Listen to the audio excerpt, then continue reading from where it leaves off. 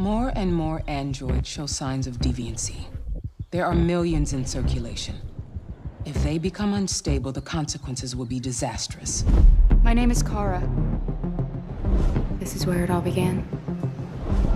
The world's forge. And it will all end. You do the housework, the washing, you cook the meals, you take care of Alice. My name is Connor. I'm the android sent by CyberLife. The company has allocated a specialized model to assist investigators. My name is Marcus. Just like you, I was a slave. Thank you, Marcus.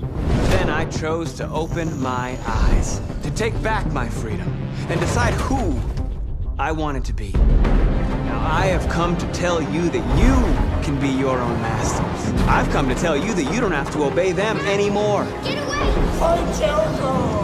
I know someone who can help you.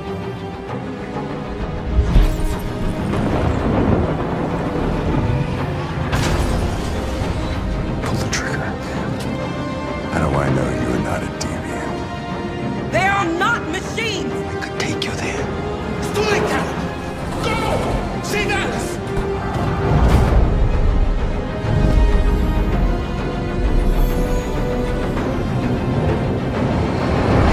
My name is Kara. My name is Connor. My name is Marcus. This, This is our story.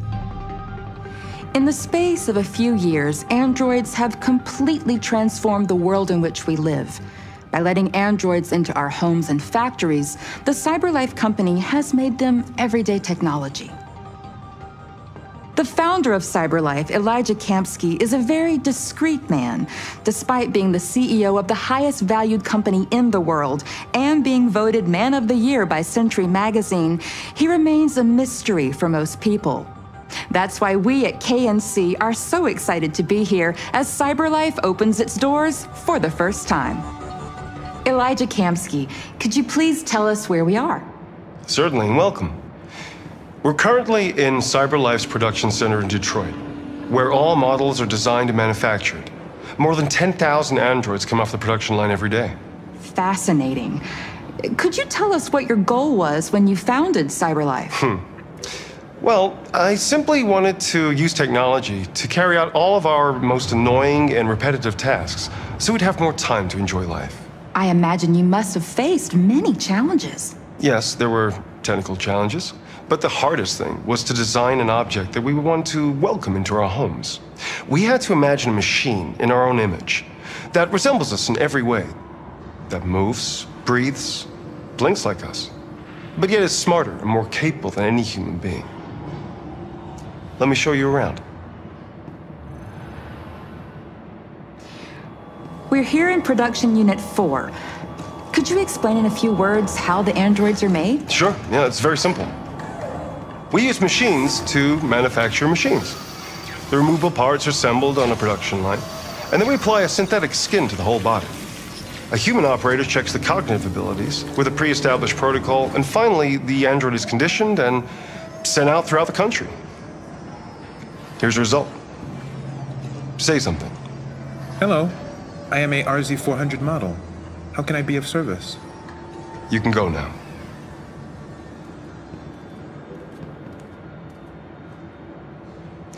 Our androids are already replacing humans in many fields. For example, they represent more than 80% of all university professors and 63% of all medical staff. Tomorrow they'll replace our soldiers, and who knows, maybe one day our leaders, to make the best decisions in humanity's interest. Come on. Replacing humans with machines has led to record unemployment of 28%. What do you think about the situation? Uh, okay. The first steam engines also caused an increase in unemployment. But no one today would imagine turning back the clock. Artificial intelligence makes everyday lives easier. Nothing can stop progress. What's happening here is inevitable. These days, more and more people choose to live with an android rather than another human being. Does this development worry you? Hmm. Everything's much easier with an android. They obey your orders without ever complaining. They can cook, discuss philosophy with you, have intimate relationships according to your desires. They never say no. Obviously, they are the perfect partner. Everyone deserves happiness. Why deprive yourself of so-called moral reasons when a machine can make you happy? Many science fiction books tell the story of how machines become more intelligent than us and end up confronting us. Aren't you worried about that possibility? I understand the irrational fears about artificial intelligence, but I assure you, that will never happen with a CyberLife android. They're designed to obey humans. They're machines. They can't ever develop uh, any sort of desires or, or form of consciousness. Are you sure? I'm absolutely certain. You can trust me.